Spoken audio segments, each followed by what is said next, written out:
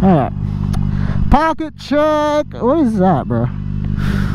Pocket check. We still good, I think.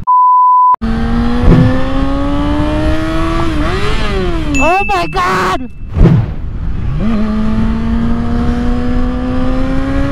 Bro. I don't need neutral right there, bro. So beautiful out today. What's up, y'all? How y'all doing today? Y'all doing well? Man, I need to uh, install this Pinlock because I cannot see shit right now. All I see is my stank breath.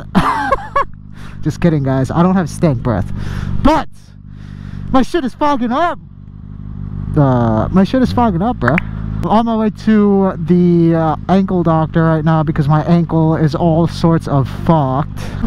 Pikachu is in timeout right now. I also hope that like nothing falls out of my pockets. Because if that happens I am quite literally fucked. My license is in there my all my cards and shit they're all in there bro so. If it falls out oh bro so I installed a tail light for this but look how fast that shit is going. I gotta install the relay to slow that down a little bit. I mean I don't mind it being fast but uh, I'm not sure if it's like good for the bike.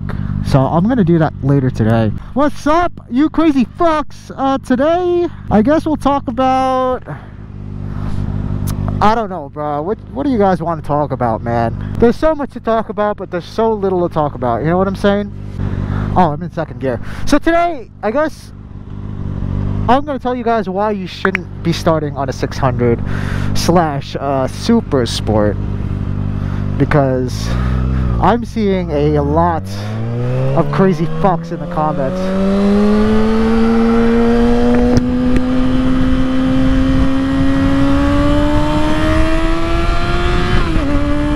I'm seeing a lot of crazy fucks in the comments that are starting on a 600 or thinking about starting on a 600 and I guess I should let you guys know why you shouldn't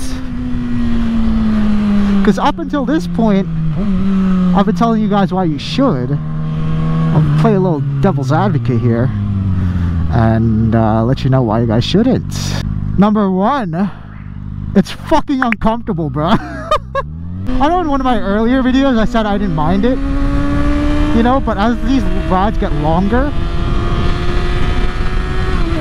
it's getting, uh, you know, it's getting to me a little bit. The, the back is, the back is not doing too great but I love it, man. It's worth the sacrifice for me.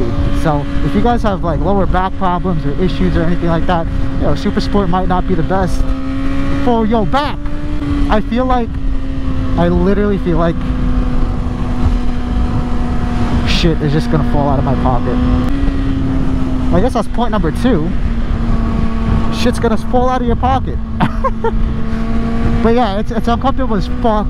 Uh, you're pretty much on a 600 some of them are a little bit more aggressive. I know you can get like an r3 or an r7 which is a little bit more comfortable because you're sitting straight up but man on a, on a 600 it's woo! You know what i mean? Uh, that's one of the biggest things. It's just very uncomfortable. You're almost laying down on the bike uh, and sometimes like longer trips are just not as enjoyable. I mean, it's it's nice going fast. It's nice being on the street with a track toy, but if you're looking for comfort, don't do it, bro. Make sure you do your research.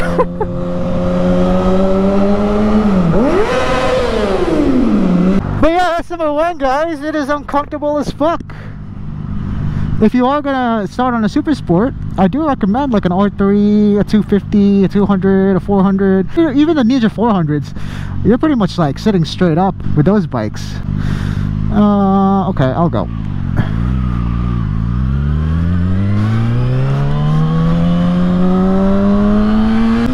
I guess I'll just keep my hand here just so I know that nothing's gonna fall out. Point number two! Gonna learn a lot slower on a 600 so stuff like your lean angles and turning and stuff a 400 or 200 or a smaller cc bike you have a lot more leeway in terms of mistakes that you can do, right? On a 400, if you're leaning a little too much, what is going on, bruh? Let's say on a 400, right? You're leaning a little bit too much. The problem there is if you're on a 600 and you do that and you lean a little bit too much and you pull the throttle in a little bit, there's a there's a lot of torque there, right? There's a lot of torque there on a 600. Not saying that there's not a lot of torque on a 400, but on a 600, it's definitely fucking noticeable and will shoot you forward. And if you're leaning too much, right, that rear tire, you're gonna lose traction. So when I say a 400 or a smaller cc bike is a little bit more forgiving, that's what I mean. And also, I, I'm sure you guys have seen those videos of the 400s passing 1000 cc bikes that's because with cornering, you really want to have a smaller CC bike. Uh, you'll go much faster in the corners. It's much more lighter. You won't lose traction as fast as 600 or 1000.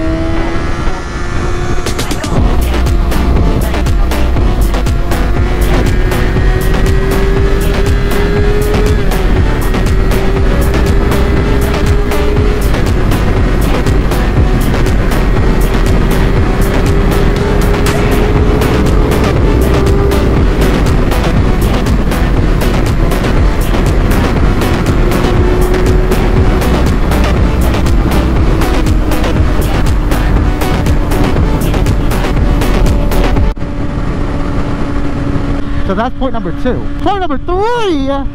Wait, what?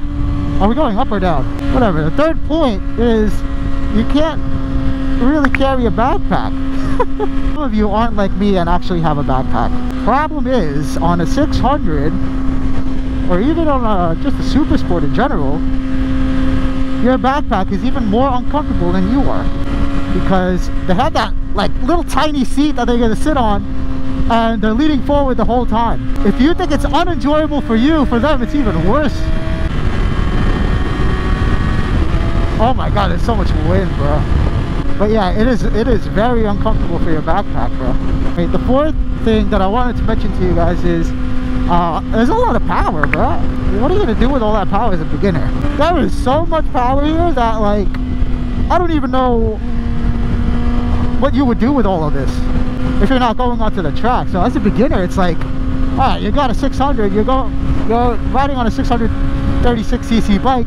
What are you doing with all 636 cc's? Pretty much most of the time that you are riding as a beginner, you're going to be using only 400 of those 600 cc's. You know, as an example, you're not even going to be using all 400 cc's, bro. So there's a lot of power here for just a beginner. It just doesn't make sense. I did it because I'm stupid and a crazy fuck. But like I said, man, it's one of those things where it's like a little bit of an overkill for beginner riders.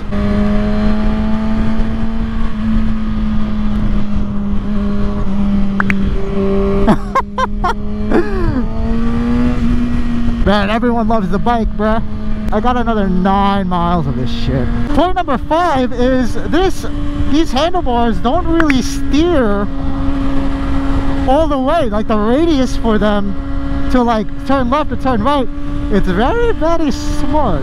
The other point of like it hindering your learning ability, man, those slow speed maneuvers, you gotta lean it a little bit more because you just don't have that much wiggle room in terms of turning the bike, you know? Oh my god, I'm riding with one hand right now so that like the shit in my pockets don't fall out. I'm so afraid this gonna fall out, bro. This Raptor is nice, bro. Woo! Look at that! Damn, bro. Is this a cop? Ah, just some old guy. Bro, any retired, like, interceptor should just be junked. You know what I mean? Should just be junked. Because it is not fair for y'all to have these police interceptors and scare the shit out of everyone. just run it to the ground and just fucking get rid of them, bro. Why are civilians able to fucking buy this shit? Isn't it illegal to like impersonate a cop? So where where is the line there? Where the fuck is the line? Because that's pretty much impersonating a cop. Am I right or am I wrong?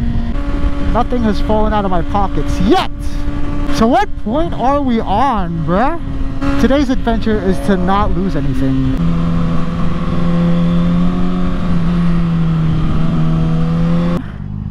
Alright.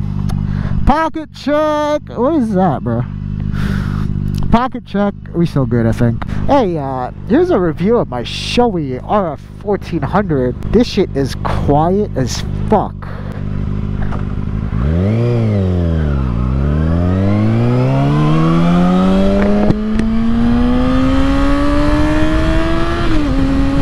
I almost feel like I don't even need earplugs. Such a huge upgrade from the Sedici, bro. The Sedici is a good quality helmet, especially for a beginner. But man, this Shoei RF 1400 is another level.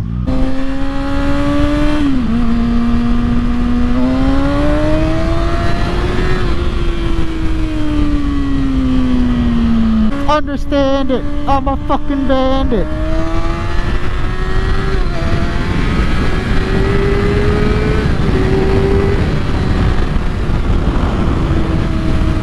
I am just full squidding right now and I am mooning everyone behind me.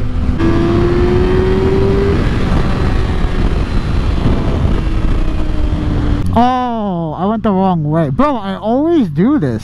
One eternity later. It was a follow-up appointment for my ankle and the doctor literally was in and out in like a minute and now I gotta pay however much I gotta pay for that follow-up visit where nothing was uh nothing was done. Except for hey what's up? How you doing? All right good. See ya. See you in a week.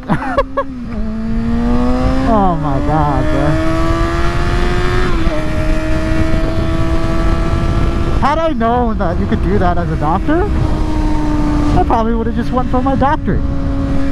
Another reason why you shouldn't start on a 600cc is I need gas bro Oh my god.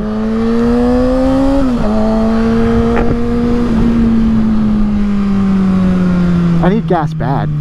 Another reason why you shouldn't start on a bike like this, baby. It really only shines on dry pavement. That's really it, bro. So if you're trying to do some off-road shit or riding in the rain, I mean, good luck. You better have ABS, traction control on, and all that shit because this shit in anything but dry pavement, you're fucked, bro. But I don't know what it is, but the Hondas, they get riled up when they see a bike, bro. it's always the Hondas, man. Anyway, uh, I think that's it for this video, bro. Talked about a lot. And I also got robbed.